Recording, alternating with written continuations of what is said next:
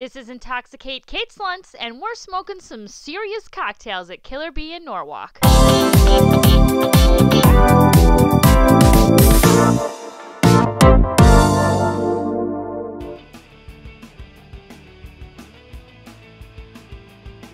Smoke is truly a trend, and it's trickled over to cocktails.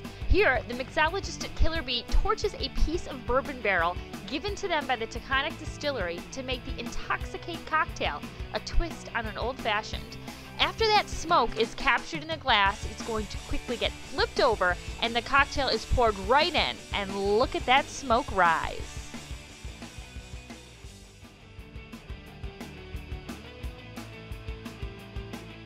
This bourbon baby is a twist on a childhood dessert, the s'more. The cocktail, as well as some smoking hot others, are finished tableside in a smoking box. The cedar chips inside the heating element get hot, while smoke pours through the tube and into the box, giving that cocktail this amazingly smoky essence. Unreal and super sexy.